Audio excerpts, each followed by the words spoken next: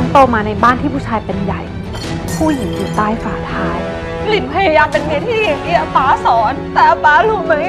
หลินไม่เคยมีความสุขเลย แต่งงานไปก็เหมือนตกนรก ผู้หญิงคือวัตถุทางเพศของผู้ชาย ก็แค่เมียน้อยเฮียก็แค่มีไว้ทำลูก ผู้หญิงในสายตาของเฮียคืออะไรอะ หลินจะไม่ทนอีกต่อไปหยุดมึงหยุดหลินจะไม่ยอมตกนรกอีกต่อไป รู้ไหมว่าบ้านเนี้ยมันเป็นนรก ซ่านเสน่หา คืนนี้ 20 นาฬิกา 30 นาที เสนอเป็นตอนแรก ดูทีวีกด 33 ดูมือถือกด3 plus